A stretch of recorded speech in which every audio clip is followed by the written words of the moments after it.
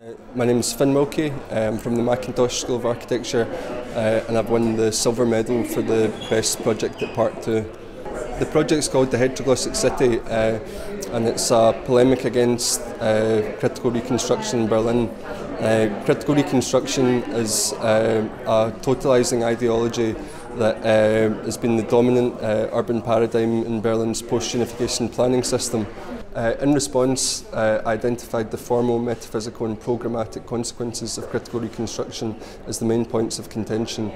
Um, and then through comprehensive analysis of these, uh, developed a conceptual framework.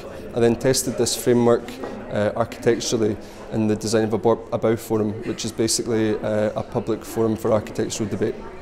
Um, I, I don't, I'm interested in um, the sort of vein of uh, British architecture stemming from the Smithsons um, through Peter Salter and then towards Sergison Bates, Caruso St John, 6A architects.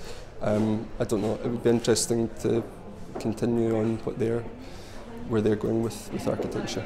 I'm, I'm doing my master's uh, at the moment, it's a master's by conversion uh, from a diploma in architecture. Um, and I'm looking at some themes that I've looked at in the uh, in the diploma work, um, especially the idea of entropic temporality, um, which uh, questions permanence in, in architecture. Uh, it's an absolute honour, um, and also the, the, the panel of judges was uh, exceptional as well. So I mean, I, I really uh, didn't believe it when John Paul phoned me. It was a real shock. But yeah, no, I'm, I'm absolutely honoured. It's, it's great.